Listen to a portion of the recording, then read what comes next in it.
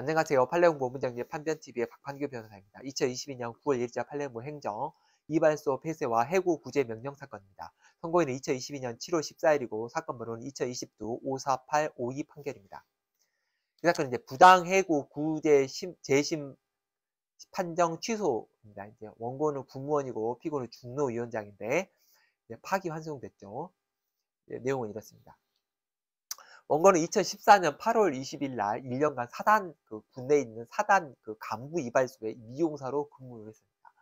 근데 매년 계약을 갱신을 해도 근무를 하다가 2018년 4월 27일 날 사단에서 수익성 악화를 이유로 이발소를 폐쇄한다고 원고에 통보합니다. 그리고 한 달 뒤인 5월 31일 날 이발소를 폐쇄합니다. 그러니까 원고가 6월 15일 날 부당해고 구제 신청을 하게 되죠. 그래서 노동위원회는 복지시킬 사업장이 없기 때문에 구제 이익이 없어서 구제 지정을 각하를 합니다. 그래서 이거에 대해서 이제 원고가 어, 소송을 제기를 한 거죠. 원심은 해고 효력을 다투던 중 정년이나 계약기간 만료 등이 있을 경우에는 임금 상당액의 지급을 해야 되는 구제 명의 이익이 있기 때문에 원고의 원고의 손을 들어줍니다. 그런데 이렇게 이제 문제는 이겁니다. 폐쇄가 됐잖아요. 이발소가. 그럴 경우에 구제 명령 받을 이익이 있느냐? 이게 이제 문제가 됩니다. 대법원 뭐라고 하냐면 구제 명령 제도라는 거는 민사소송을 통한 구제 방법보다는 신속하고 경제적이고 탄력적으로 운영할 수 있는 수단이다.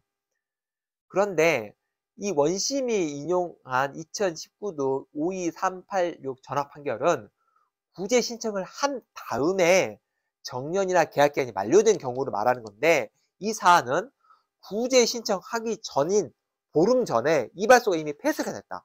따라서 구제 신청일 당시에 이미 복직이 불가능한 상태였다. 따라서 해고 구제 명령에 이익이 없다라고 보는 거죠. 이게 중요합니다. 그러니까 구제 신청일 당시에는 적어도 계약기에 남아있거나 복직할 수 있어야 돼요.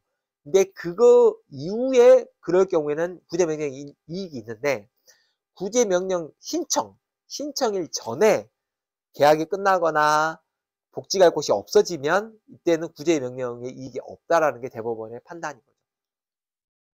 그리고 구제 신청일 기준이 중요합니다. 신청일을 기준으로 신속한 구제가 가능할 상황에만 구제이익이 있다.